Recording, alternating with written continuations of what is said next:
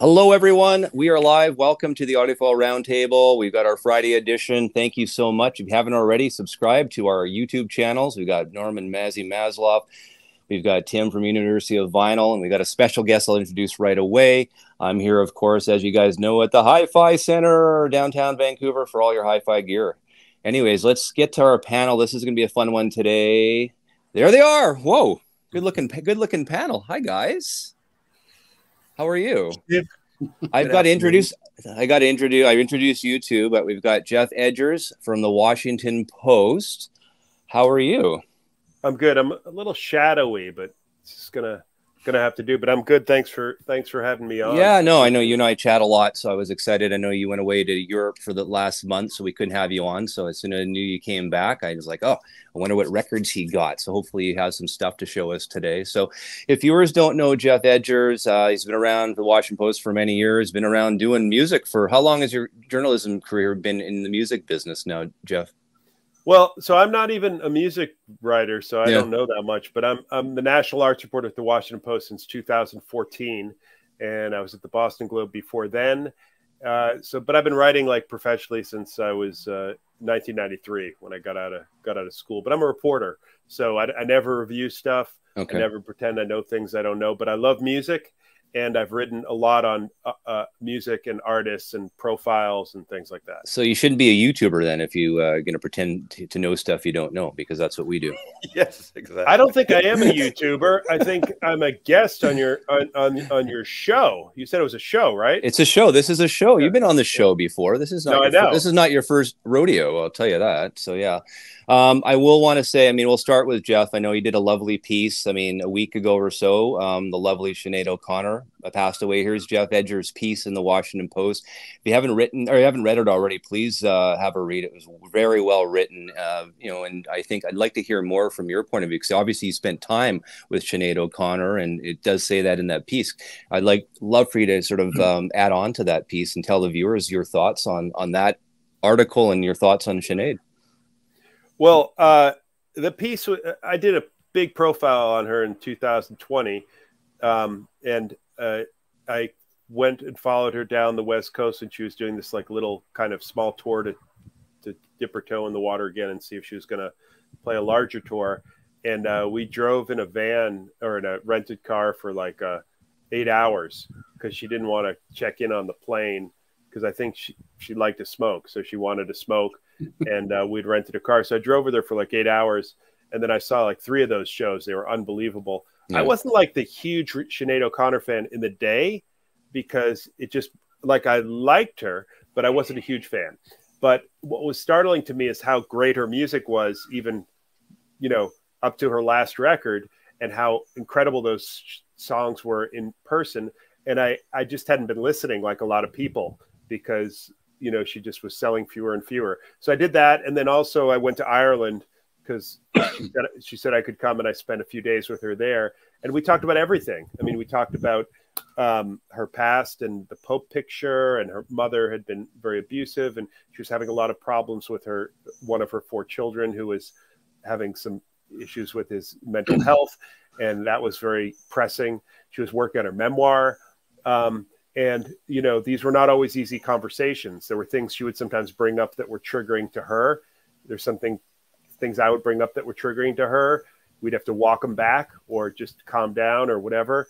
And um, but uh, she was uh, really a special person. And when i was there i noticed in her house she had no records or no grammy awards or whatever.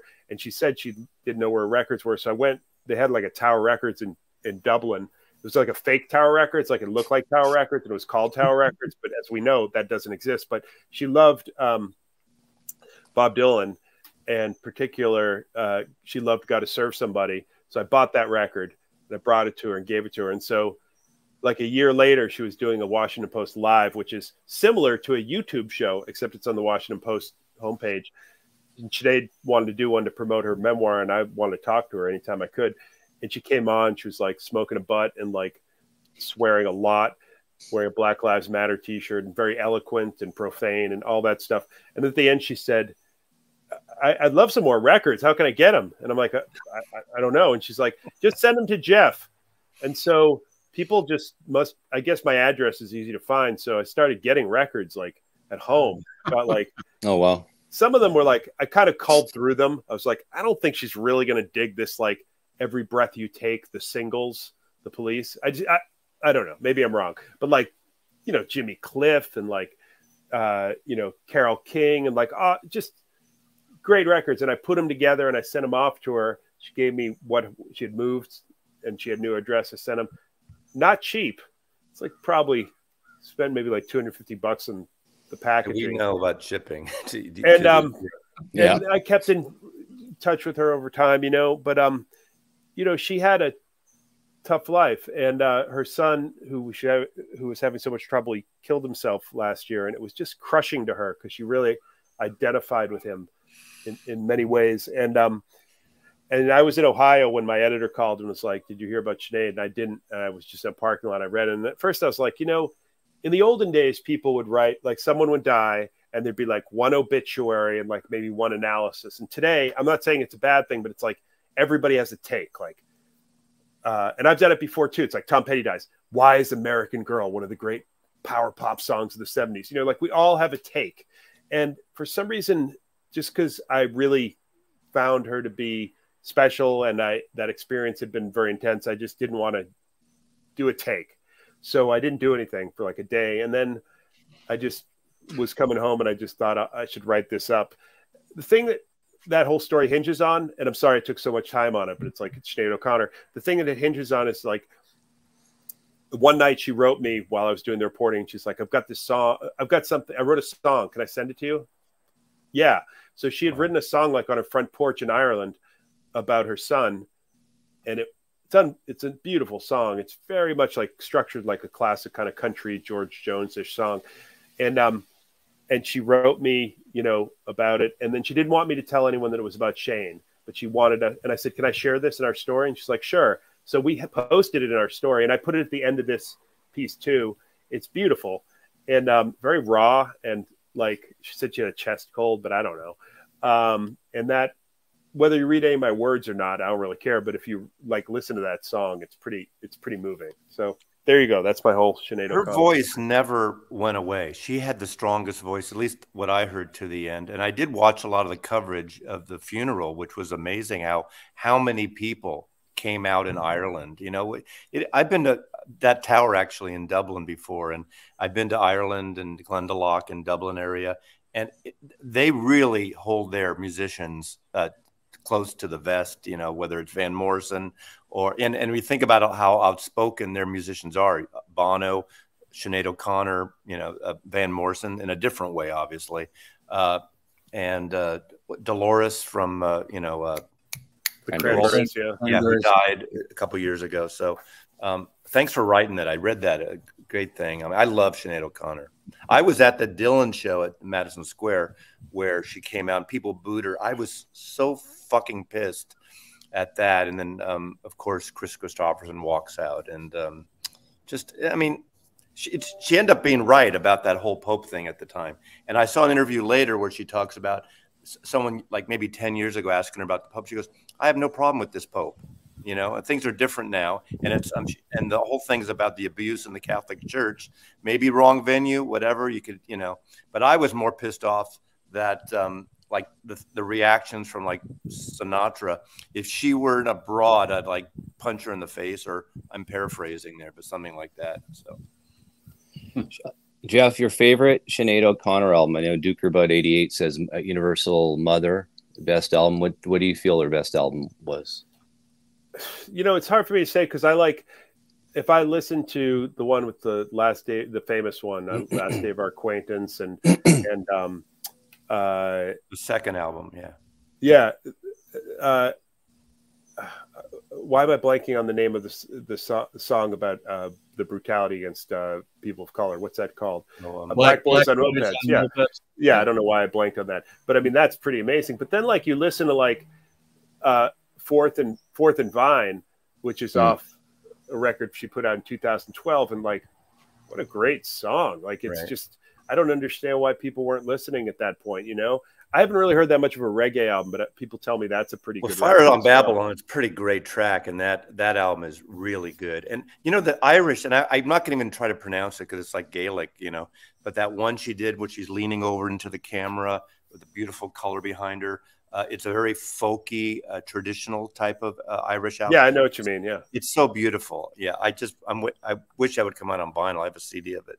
I mean, the thing that was so sad. I mean, everything was sad, sad about this, but like she was touring and it was like a religious experience. I mean, I saw that show at the El Rey in Los Los Angeles was like one of the three shows I saw. I think that has like a 750 person capacity, so nothing amazing show. And when she plays all those songs from over the years, she had a really supportive band. You go, oh, it's not just you know, it's not just nothing compares to you. It's there's so much more here. And she was just about. I mean, we were texting. She was calling because she was like she got to Chicago to open up the next leg of that tour that was coming to Boston to New York, and then she got there and her bass player didn't come because of COVID, and then COVID shut everything down. And so she just never made that tour, you know? Here's a question. I mean, Sinead O'Connor, obviously the big Pope thing back Saturday Night Live, ripping the Pope's picture. We talked about that. But I mean, social media wasn't around back then. I feel today, if that would have happened in today's times, I think she would have been more embraced because of social media. And I don't, I don't, I think her career would have taken a different trajectory if that was the case. Any, any, anyone want to jump in on that? I mean, hindsight. I don't know. it would have been so divided like it is now. Like it's look at all this like you know, a trans person, you know, does a beer commercial and people like heads explode or something, you know. Yeah. Yeah, but the two people from the 90s, I mean, I know this is going to be an odd comparison, but I am not the first person who made it. I was uh, somebody else suggested to me, but I think it's good. It's like Monica Lewinsky and Sinead were like savaged in the 90s. I know. And you could make a pretty good argument that they were both victims of, you know, mistreatment and, you know, I, misogyny or whatever you want to call it. It was just mm-hmm. like they were terribly savaged and um, unfairly. And I don't know, would that happen today? I'm not sure. I mean, there's a really powerful, pa- powerful, um, you know, sense now that there's like a, a, social justice that, and, and a fight for social justice that you didn't have at that moment in time, and sexism, you know, and and people who are like 30 years old now, they're strong. They they don't care about the power structure, and they say what they mean. And so I don't know if these crotchety old people like Cardinal Bernard Law, you know, the in Boston, just before you know, obviously he's going to be taken down with the church crisis, is attacking Sinead O'Connor in in newspaper articles, or Joe Pesci, as you referenced, you know, going on Saturday Night Live and, and making a joke about you know her bald head, or Frank Sinatra. I don't know if those people would have gotten away with that today. There's no way. Yeah and that's I think the power of social media, the power of all this, I think was could you know could have been a bigger thing if it was ba- around back then too. It would have helped. So I mean, hindsight is what it is, and I think Sinead, you know, obviously, like you said, Monica Lewinsky, wow, um, they went through a lot, unfortunately, really did for no reason. It's deep stuff, Geoff. I don't know. We should probably move on. We could talk about Lion all Cobra day. is one of the great like post punk albums, though. That's such a great record. So great record, great record. All right, let's talk about what you want to talk about, though, too. Well, okay, okay. I know there's some I'm getting comments on, but thanks for that. Um, if anyone hasn't read the article, I'll just put it back up. Uh, Sinead O'Connor is still in one piece. Is the article written? What was that? March of 2020 by Geoff Edgers, Washington Post. Check that one out. Great article. I really enjoyed it. Actually, read it twice. So thank you for that, Geoff. A um, couple things we want to talk about. This is the audiophile roundtable. Um, I know some are going to be sick of it, but I'm not sick of talking about Steely Dan's a- a UHQR AP's Steel, uh, Pretzel Logic album. Lots of controversy around it. I've said mine. I want to start with Tim. Tim, thoughts? Um, I've got an original ABC Black Label pressing, and frankly, I I um I just wanted to wait and read some reviews, see some opinions, and I've decided I'm not gonna I'm not gonna buy the uh, UHQR. Um, I was really impressed with Nathan's take on it, and I kind of trust Nathan's view. Um, I think you kind of covered that Wednesday, and he put a long post, couple posts on the Facebook page and I've seen some other videos from other folks in the vinyl community, and uh, they're all kind of trending the same direction. And um, I'm really happy. I've got a near mint copy. I've got a Santa Maria pressing, which is a nice clean pressing, and that's that's me. I'm waiting for Gaucho and uh, Aja for sure. And, and Aja, Katy Lied. I'm, I'm very curious to see what they can do with that. And Aja, as we know, is now going to be pushed to October 29th uh, release date through Analog Productions. Uh, I didn't buy it, but a viewer, or actually, I should say, someone on the Hoffman forum reached out to me and said, "Hey, Mazzy, do you want to hear this thing?" And he, this guy lives in the Bay Area. His name is Tim. That's all I'll say. He sent me his copy. I got it. Uh, oh my God! Without the box? He even said, "I can't send you the box, Mazzy." Those of you in the know will know what that's about. But uh, 45 RPM my friend Kimbo was here. We listened to three tracks together, or two tracks together, and then I listened to it. I've listened to each three times. First of all, my 49 years I've owned this copy. I got this the month it came out in February 74. I'm older than you guys. And it and I cleaned it and it still sounds great. No static. It sounds amazing. It's a rock and roll record. This basically neutered the record. It's actually for this Clarity Quiet vinyl that all those labels are promoting it's not that quiet. And I just found out the guy that sent it to me did ultrasonic before, so it's still not perfectly quiet. Um, it's just it's neutered. That's all I'll say. After hearing this, we kind of basically said, excuse the expression, what the fuck did they do? That and uh, that's all I'm going to say about it. It's not worth getting. Uh, for my take, uh, the acoustic guitars and every major dude are the best part of the uh, UHQR. That's kind of nice. That's hopeful, but then Love it goes song. downhill from there. It's like like the vocals are way up, no highs, no the mid range is kind of uh, funky. It, it's just the first one's great. The original's great. So, and that's all I'll say about it. I got a chance. Jamie Howarth from Plangent Process has sent me a uh, Plangent Process. Rikki, don't lose that number. Um, Plangent Process, and it sounds quite quite interesting. You know, obviously reducing the bias and the wow and flutter. I, I really enjoyed that one. It sounded great. But I did a quick video the other day on I have the Santa Maria pressing like Tim, and I think yours is the same, Mazzy. And I compared it to my UMG, and you know, the, the original came out on top.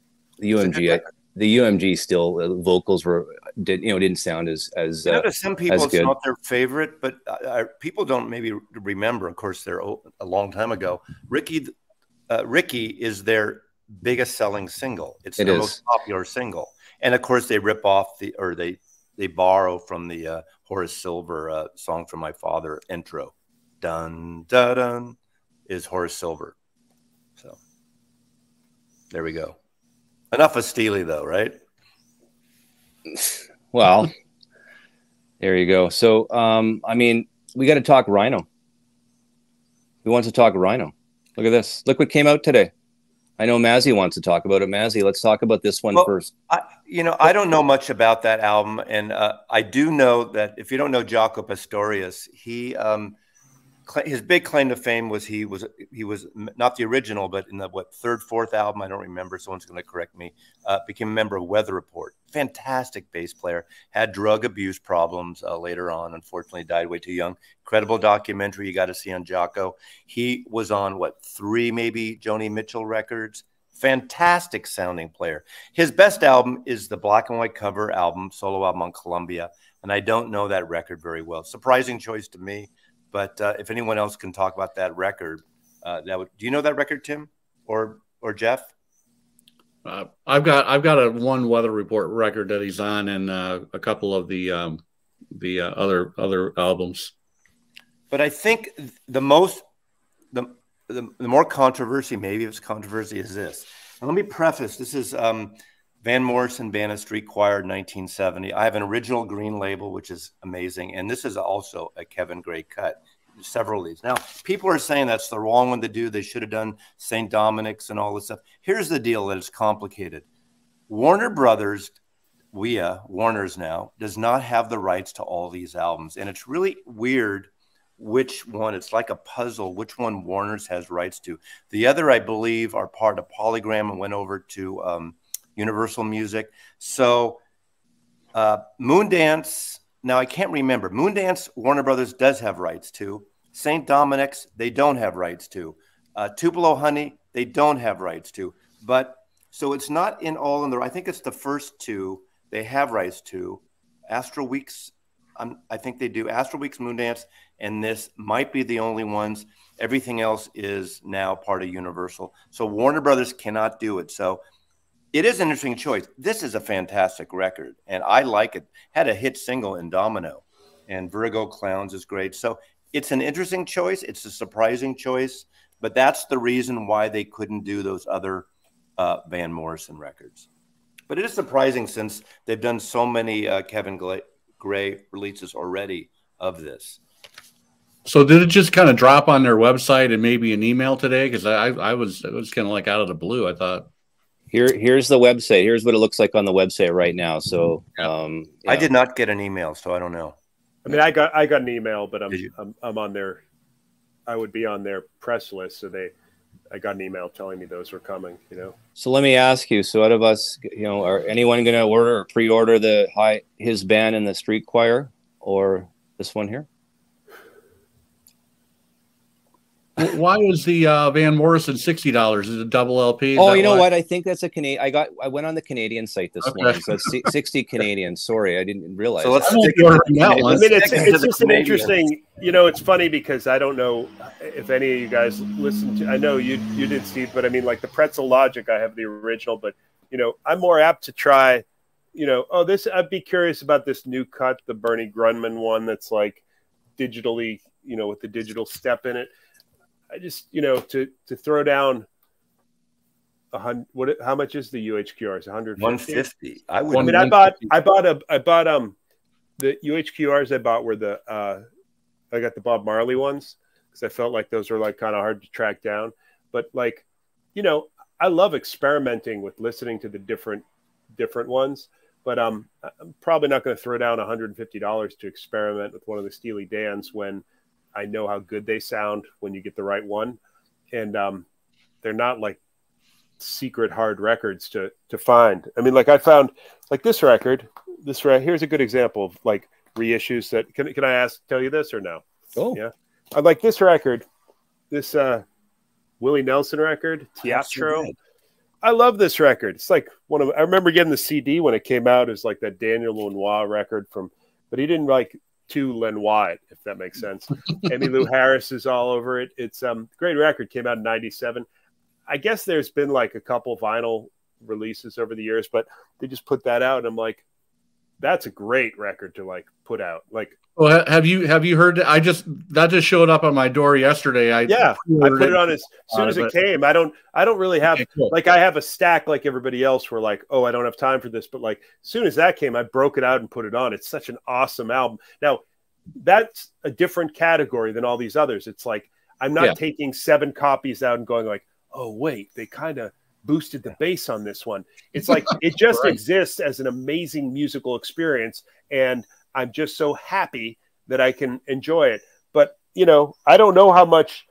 Sometimes I look up records like that when they only put them out like in very small pressings back in 1994 or something, and well, they're like, you know, a thousand dollars or something. So that came right. out on Record Store Day about six, seven years ago. That's when I got it. But it was. I don't. I don't know if it sounded good. I mean, like it I, sounds I don't great. Know. It sounds. But you can't get. I don't think you can get the Record Store Day one now for a regular right. price, right. right? So it's good. That's a perfect example of something they should put out. And what was it? A 35 40 dollar record.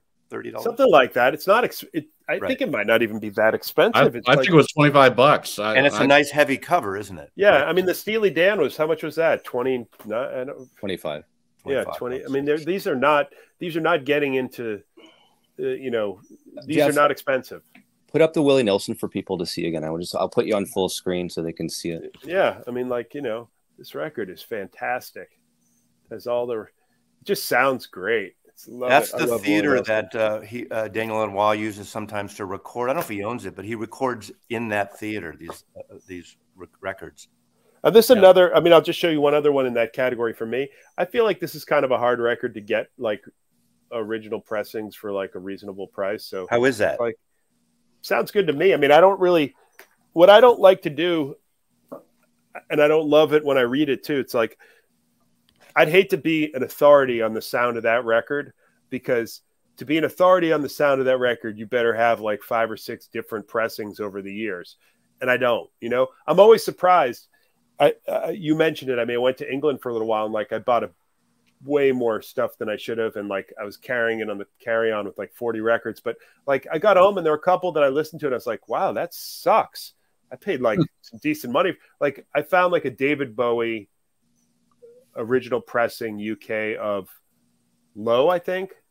I'm not I don't think it was Heroes. Low. I didn't pay that much for it, maybe $35. And I put it on. I was so excited to hear it. And I put it on and it was so deadly dull compared to and felt muddy compared to the um the one that I thought it would kill, which was the one that was in the Rhino box from a few years ago. Mm. It just didn't mm. sound that great. So I'm sure there's another Bowie low that sounds better in another time period, but I wouldn't say, oh, the number one one to get is the Rhino one because I just don't have the authority to say that. But what I can say is that I really can't poke around and try to, you know, I'm interested in this because this is the group that did kind of blue and, you know, I'm interested in it. I love Cannonball Adderley. And so it's a perfect new new record to put out to me. That should lead into because that's uh, what the year after he did something else that same group or close to that group and something else is coming out on on um was it a MoFi? It's a MoFi MoFi one step. That is yeah. my all-time favorite jazz album. Something else, Cannonball Adderley with Miles. Great record. I'm I'm brought. I'm not going to get it because I have what a Music Matters Jazz, and it came out as a classic. I think in the last couple years. Uh, it's a, such a great record. Mine's an early '70s copy that I think sounds great. Yeah. Are you much into jazz, Tim? Like you still do you have a lot of big jazz collection?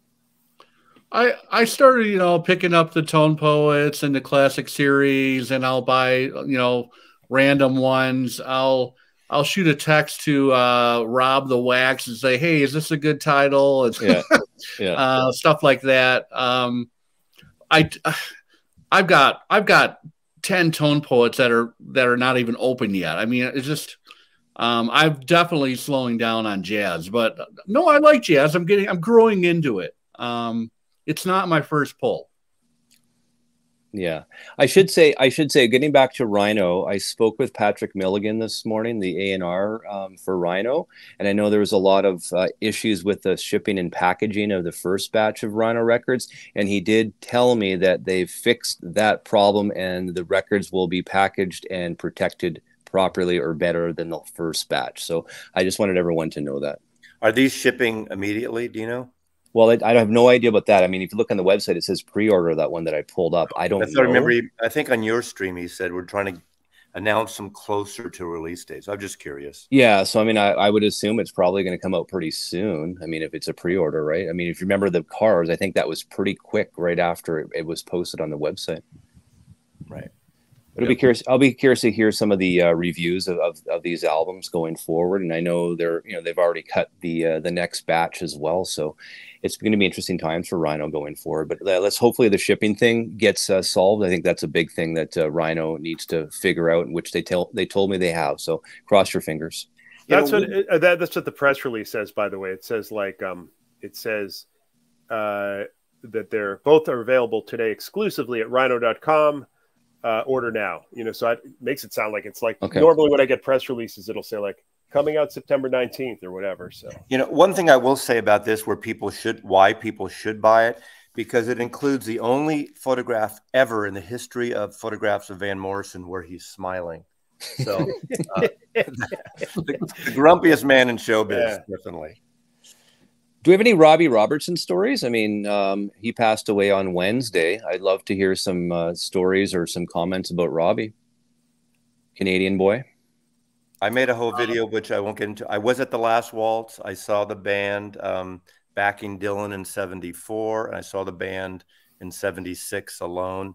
Big fan of the band. Um, uh, and I have what five of uh, four or five of Robbie's solo CDs. I mean, to me, that's a tragic loss. I I don't think any of us knew he was uh, sick.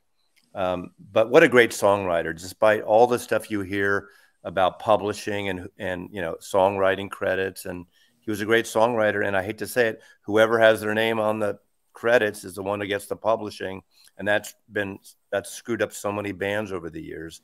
And I and that, what I said in that video is that's why it's amazing. Groups like I think it's the Doors and REM are two bands. I don't know others that every member gets a credit of every song. and that's rare that mm-hmm. someone mm-hmm. allows that of a songwriter. But you know, it's fine when you're young, but when you're 40, 50, 60 and your publishing royalties are coming in and you're not getting it, you know, there's turmoil in the old uh, family thing.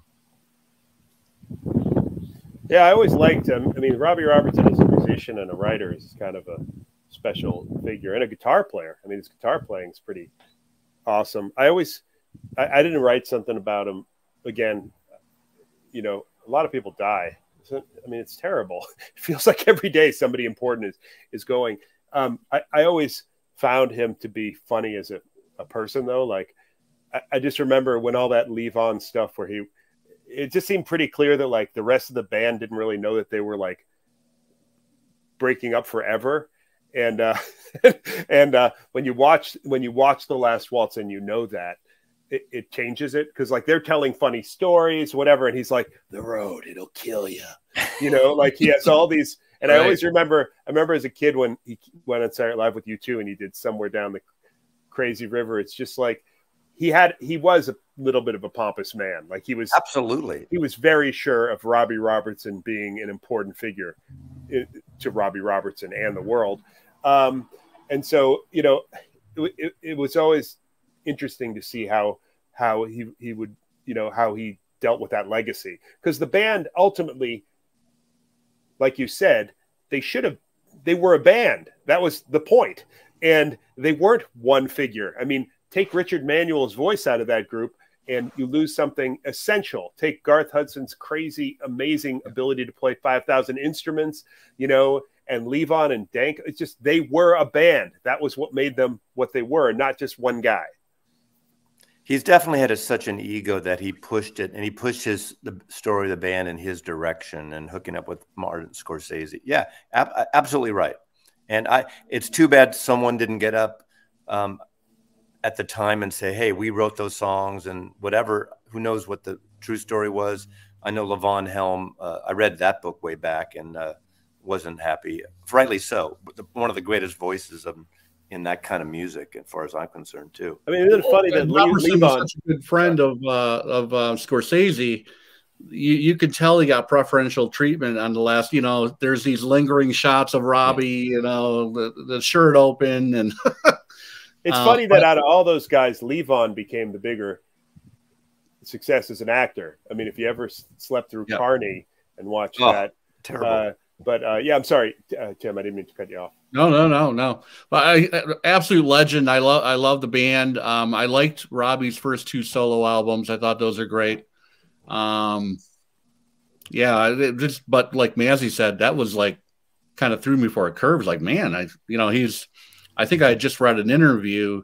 I saw Fran Lebowitz here in Boulder the other night, and she was talking about, you know, she's got a long relationship with Marty Scorsese and anyway, I started digging in that and reading, and and they were talking about the new movie coming out this fall, and Robertson did the soundtrack, and apparently he just did an interview two weeks about it, and you know said he's very busy, blah blah blah, and drops dead. I wonder if he finished his soundtrack with Scorsese. I wonder where they were in, in that in that whole. It's production. done. Yeah, it's, Is it's it done? I don't yeah. know if he's the actual composer. I think he's more of you know the musical uh, coordinator, bringing in music, yeah. that whole thing, rather than a composer. I don't know though. We'll see. Yeah. Well, I mean, yeah, it's you're right though, Geoff. Seems like every day these uh, people are you know passing away. But I mean, as we get older, everyone's getting older. It happens, right? It's just it's just it's been it's been a you know, quite an interesting couple of weeks with some of these uh, artists. But yeah, um, any other records, guys, that you want to talk about? You got to you must have stuff. I can I can talk about the new uh I you know Mazzy did a video on it, the new latest Neil Young box. There you go. I was uh, waiting I was waiting for that. We were we were texting back and forth. So this is yeah. Tim, you go ahead. I want you to put I'll put you on full screen. Go for it. Okay. Well, this is the latest. It's the original release series, I guess number 5 and we're picking up, you know, in 1989 with uh with Freedom and uh, we've got Ragged Glory, we've got Weld, which is uh, I think a three LP set, in Arc. I have only listened to uh, Ragged Glory, and I have an original pressing. Um, it's night and day, so much better than the 1990 release. Um, and apparently they went back to the original master tape um, and cleaned that up a little bit. But just it's got a huge sound stage. It's been expanded. You know, there's like I don't know how many minutes of music were on the original Ragged Close Glory. to an hour Close to an hour on one on one record originally. and um, it was just there's there's my original now there. it's a double album, and that's a triple. Now put it's, that, put uh, that yeah. back up. Now it's a double album. Um, and that's a triple. Yeah. yeah, there's four songs uh, that are uh, one one had never been released, I guess, uh, but they've been added on, you know, from the from the sessions during the time period. Um, and I have an original pressing of Freedom, and I thought that sounded pretty good. Now I have not. I'm behind on listening to stuff, so I, I'm curious to see how Freedom uh, sounds. But that's been expanded onto two LPs as well. So Yeah. That's that's But, you know, one that Neil was Young- an hour that stuff. was expanded. Yeah. Yep. Okay, Mazzy, your turn on Neil Young. Have Well, you I listened to it? I just echo it. Uh, Freedom, I have an original. It's an almost an hour on one record, which is crazy. Um, but the new one's two records sounds fabulous. Um, I did not have Ragged Glory. I have it on CD, and uh, that's three records here. It sounds great. It's a it- you know it's it's a loud album. This is his Neil Young's grunge period. This is when the whole Godfather of grunge thing started happening, and a few years later he did that album with Pearl Jam. Uh, uh, Weld is live, crazy, wild, grungy uh, live, and Arc is uh, not for everyone because it's basically f- a, a record of feedback. Um, So it's like he did for the soundtrack in a way to uh, Dead Man, where it's just guitar and noise and stuff. But it's it great series, as Tim says. Yep. I've got a, I got an interesting story about Neil Young. I mean, I was born and raised in Winnipeg, and Neil Young was a you know wasn't born in Winnipeg, but lived in Winnipeg a long time. Went to high school near mine. I mean, he's obviously older than me. But when Bob Dylan used to, his first time he toured in Winnipeg, um, he actually banged on the door of a house in Winnipeg that happened to be Neil Young's uh, house he lived in. And the people were like freaked out because Bob Dylan showed up in this cab just by himself because he wanted to see where Neil Young grew up in Winnipeg and just basically banged on the door. And it was it made the news. It made the newspaper in Winnipeg that Bob Dylan literally got into it into a, into a um, taxi from his hotel by himself. He, he knew the address, told the ta- ta- taxi driver to go there, and he went and banged on the door, and he got a tour of, of Neil Young's house in Winnipeg. Wouldn't that be crazy, Bob? Bob Dylan showing up on, at your house just unannounced. I thought that was a cool story. Can you imagine if you knocked on his door, Howie? Do you know the story of AJ Weberman? He's the guy. that- Garbage guy. The whole term garbology started. He was the Mm. guy back in the '60s, I guess, that went through Dylan's garbage. Famous stories. Oh, wow. and stuff. So Google AJ Weberman, Bob Dylan. oh wow! So Geoff, what other what other um okay what other records? You're in Europe for a long time. What else did you bring? Well, I was uh, I, I didn't bring them all because it's like uh, it was a lot, but um, my wife was nice about it because we like spent about seventy percent of the time hiking, and then about twenty five percent of the time either finding where stores would be and then investigating them. I like old records, so like I was in uh, Cumbria, which is rural England, northwestern part of it, and um, really found some amazing places. I mean, there was like this one town, Barrow, which had a record a record store called TNT. There's really nothing in Barrow. It's kind of like a drab city with a lot of industrial stuff. But the guys there, the two guys there were awesome, and they let me go into the back room and start looking. And what you find is the things that we find that are so common here, like oh, here's tapestry, or here's like after the hmm. gold rush. They don't have those American pressings there. But all the stuff that I'm drooling over, trying to grab and never can unless I want to spend a lot of money, they had just so many of them. I mean, I've grabbed, you know, Elvis Costello is a great example to me of records that they sound so much better on those FB UK pressings in for the most part. They just I you know, anyone my little kid can hear anyone can hear it.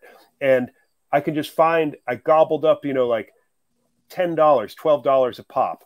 You know, these like this kind of thing, like this record is just so awesome, right? Cat Stevens and to find like the original, you know, island pink Hold, thing. hold, hold, hold up! I love I love the island. Hold up for the uh, viewers the label there. Turn it around. Yeah, I mean, like it's just such a a great Oh, yeah. version of this record. That great? right? That's so nice. And I found like there were a billion of them. You know, like I got as many as I could to like give. I got some to my friends. You know, Brian Eno. Uh, Any Nick Drake? Nick Drake? I didn't find. So I'll tell you what. I I, I did not find Nick Drake, but No, that's hard to do. I think. I bought for too much money on the internet. I bought the box set that Hannibal put out. It was the funniest, weirdest thing, or not, or the most normal thing. But the box comes, it's pristine, and it's a reissue of all the Nick Drake records, and Yep. uh, three of them were perfect, right? And then I get to Pink Moon, and it's like somebody put like a iron on it or something.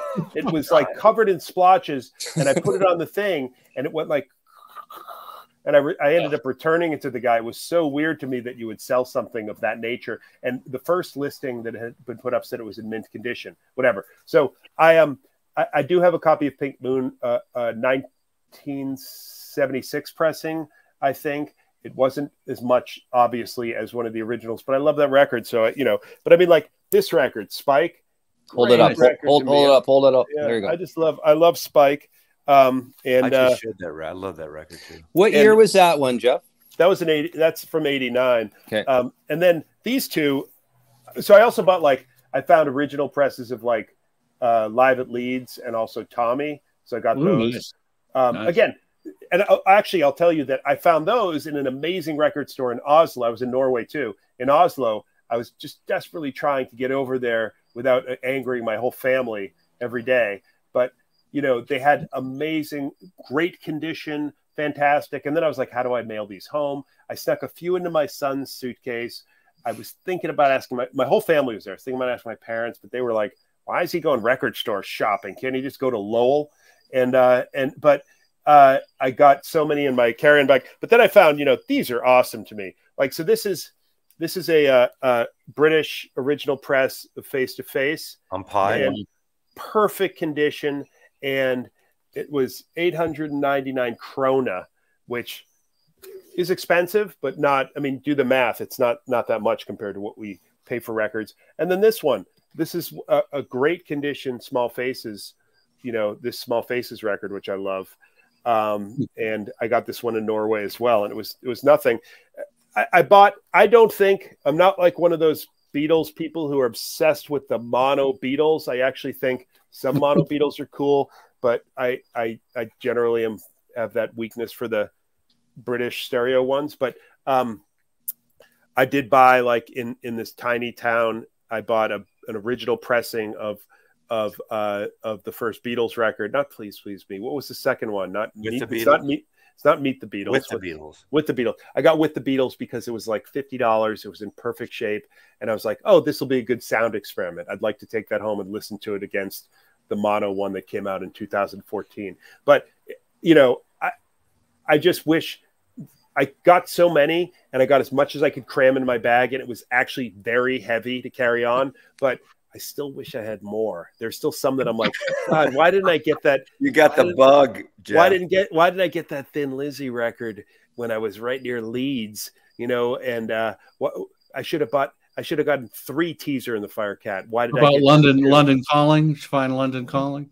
Uh, I didn't find London Calling. I did find a copy of um, uh, uh, um, Give 'Em Enough Rope, but it was a little scratchy. But I got all the Pogues records from the '80s. That was another That's good cool. one. You know. Oops, what happened? Next time I go there, I- I'm going to pick up every full pink label island when it's the full pink of of traffic records of Nick Drake, all that. That's my uh, like the, the thing that I'm lacking. And I anything with a pink label in the UK of Ireland is Those first three Fairport conventions are Yeah. incredibly expensive. I'd love to find those. You know? Leaf and Liege. Uh, oh Yep. God, that's a perfect. Uh, record. Unhalfbricking, man. Yeah. Or all Jethro. Tull. You know, I mean, there's so much stuff, but you Yep. know, there's a reason that those. I'm sorry, my camera seems to have. It's what happens when you're in a cabin. Can you, you see me okay lighting, still? man. You got mood right. lighting. Yeah. You got a little darker, but you're, You're you're there. backlit. You have As no. long as I'm still there. So where where are you? You said you're a cabin. Whereabouts are you right now? I, I we have a place in like rural Maine, so I sometimes go there when I have summer and want to not be in. Uh, I live in the Boston area, so sometimes I Yes. I go up there and I've been hosting. Oh, that's gotten a little lighter. That's it's a little that's nicer. better. I've been hosting the Post's Washington Post pod daily podcast. So from this wonderful school called the Kents Hill School, and uh, we just, you know, I have a nice record player. I have a, one of those old Fisher hmm. tube thingy dingies that I got restored, and I, I love being here without Wi-Fi because I can um, actually read a book. Imagine that! Read a book. God's sake. or write a book. yeah, I don't know. I'm not really. I'm not no. sure I'm capable of such a thing, but thank you, Mazzy. So yeah, I love. I, I I recommend if you can figure out a way to go on record trips and just pack not many clothes and just have room in your bag. It's what a glorious thing to find. Who else is in rural England looking for records? I'm sure other people, but I feel like it's at least in some ways it's a more fruitful place to look than say in London or New York or Los Angeles. And that's what I was going to ask you when you were at these record stores. There's a lots of people buying records. Did you see a lot of people? Did you talk to the record store owner? Like, what's what's their take on things? Yeah, we. Talk, I mean, I talk to everybody in there. and My wife goes in there, and she's a good conversationalist with them as well. You know, most people buy new records that are shiny and are on the shelf in general. I mean, you know, when I'm looking for like, oh, do you have Dark Side of the Moon? And then I'm looking for like Harry Moss's, you know, initials in the stupid dead wax. It's like I'm not sure there are too many people. You guys would, but I'm not sure there are too many people who are like knowledgeable of that or paying any attention to that. You know, and um, you know when the guy brings back an F beat record that was reissued in '84, and I go, oh no, I kind of wanted the one from '79. I don't. He's probably like, well, why isn't this good enough? You know, but if you're there, you're there. You want to do the best you can. Let's take some questions from the viewers now. I'd like to, I mean, we got Je- Geoff Edgers here. We've got, of course, Mazzy and Tim from Meters of Vinyl. Anything you guys want to ask? My my great guests here today. Um, I'm sure they can answer it, but I mean, I'm going to start off. Mazzy, tell me, in terms of um, your favorite, uh, I guess, UK albums that you own, do you have any Van Morrison UK albums that you can compare? Like, no, what do you have? You know, think about it. Really, Van Morrison's uh, records, uh, except for the early uh, them records, I yeah, um, he, were American, orig- yeah. American origin. Warner Brothers. I mean, aside, after Moondance uh, and a- Astral Weeks, he moved. He lived in my neighborhood. I mean, not my neighborhood. He lived in Marin County. He lived in San Anselmo and Fairfax. And when I worked for ABC, that back in the late seventies, one of my accounts was Caledonia Music, a small record store that he built for his parents. He brought them from Ireland, and there's these two little Irish old people with a giant uh, Van Morrison poster there. So they're American records, so they wouldn't be. Um, I have like like uh, Dave showed. I have a bunch of the Pye uh, Kinks records. Those are great. They're not great recorded records, but those are the best ones you're going to get. Those Pye records. I have Decca, some Decca Stones albums, obviously Beatles for days. Um, but when, yeah, I, I like, I'd like to get more, like you said, Fairport Convention, the UK ones I don't have. I'd love those folk. I like British folk of the late uh, 70s, all those Joe Boyd produced records.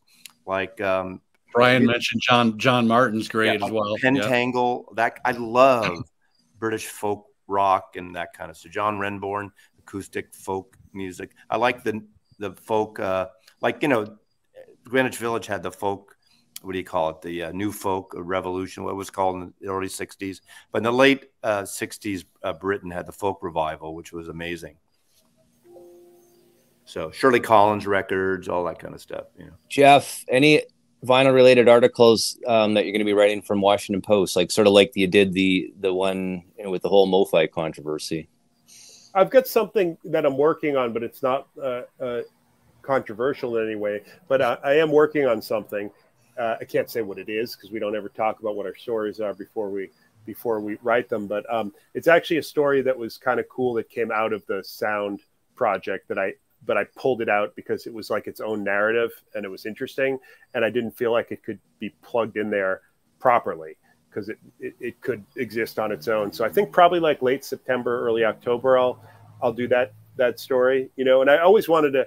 I have so much audio from that all that reporting and I wanted to do some kind of podcasty thing, but um, it's very hard. Uh, the podcast market is terrible right now. It's like nobody is purchasing podcasts, so uh, we've kind of put that on the back burner until we can get things together. I mean, I don't want to do like a podcast um, that's not the best they could be with all that material. You know, all those subjects who were in the sound story and Neil Young and Chad and all those people, they're all talking and, and being interviewed. It's good stuff there that's in my Dropbox. And um, I just need to figure out how to, how to how to use it because there's a huge audience for it, I think, and, and I'm interested in it. And that sounds uh, interesting, yeah. Yeah, fun. so I don't I don't know you know I don't know when that's gonna uh, when that's gonna come. My stories are very you know that week with Sinead, I did a profile of Tiffany Haddish and a profile of Jim Gaffigan, and then the Sinead story. So it just goes across. It really does go across the board, you know. But thank you for asking. So Geoff, Jason asked this: Has your collecting changed at all since you started covering vinyl, being on the vinyl community channels, and uh, talking to people like us? Yeah, I mean, I really, I really read um, a lot. I read as much as I can and I try to learn as much as I can from people because there are people who've been doing this a lot longer than I have. I am sometimes frustrated that there are so many opinions that I think are based on limited knowledge and limited exploration. And so many people seem to be kind of dug in about what they believe and they don't change their views unless they don't change their views. They don't. You know, there are people who are like, originals are the only ones, or reissues are the best, or Kevin Gray's amazing, or Ryan Smith is terrible, or Ryan Smith is amazing, or what's Chad doing today? You know, it's just like, or like, God, nobody has saved records like Chad. You know, so it's like they're they're just people dug in, and I sort sometimes you sort of know what you're getting when you when you go to read it. And so what I've tried to do personally is like poke around and if I find a piece of knowledge that I think is interesting, like, you know, use it. Ultimately, what I've found is that the best thing. Uh oh. That's what you get for not having Wi Fi at the cottage, right? He's going off of data. It's exactly what happens. Uh, yeah. While he's uh, rebooting here, yeah. Uh, people should watch the uh, Iron Mountain uh, tour Michael Fremer posted. Yeah, I saw that. I didn't watch it all, but there was a little thing. I'll, I'll show these. They mentioned jellyfish. hold on, hold on, hold on. Jellyfish. These have haven't been reissued in ten years on Omnivore. They're from 1992. These albums came out very pop, 10cc, Beach Boy like. Uh, a lot of great records. Only two records they made, and people are thirsting for these records. So there was a little clue there that these might be coming out on vinyl uh, soon. And I mentioned these too that these are records that I hope to come out on vinyl. So Jellyfish, maybe uh, it's happening sooner than later.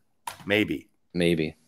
I think we lost. I think we lost Geoff. I don't know what happened to him there, but uh, oh well. I mean, it's what happens when you don't have you don't have a Wi-Fi connection. I guess I don't know. Friday afternoon in Maine. Damn. Damn. I'm surprised he didn't have some scotch beside him or a glass of wine. Right. I'm actually shocked right now. Right. Well, so I don't slice know. of blueberry pie. yeah. Yeah. Well, yeah. I mean, um, so, what are you guys spinning this weekend? You guys have any plans to spin, or is it just all family?